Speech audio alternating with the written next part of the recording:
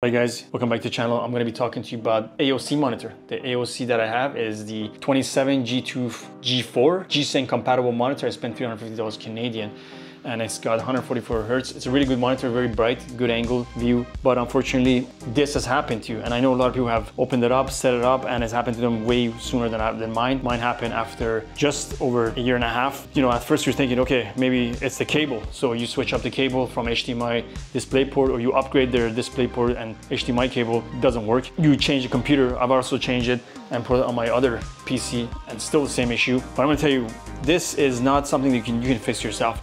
This is literally a panel hardware failure. It happens, especially with certain budget AOC monitors. Some people have said right after the box, this thing happens like after 48 hours. Technically speaking, what you're seeing is likely either a failed T-Con board, a loose or damaged internal ribbon cable, or straight up dead pixels across the entire lines. And you can't fix this at home, guys. It's going down more and more. It's like loading up a photo back in the 90s when you had dial-up internet.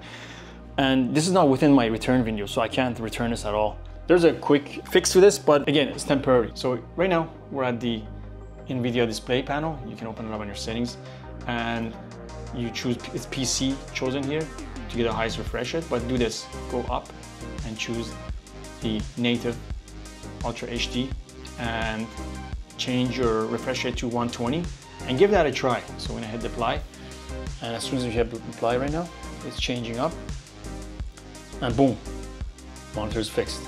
And you know, if it happens again, you can, you can drop it down again to say 119, even one hertz lower, or you can get a custom program to bring your refresh rate lower from 144 to, I don't know, 143 to see if that works.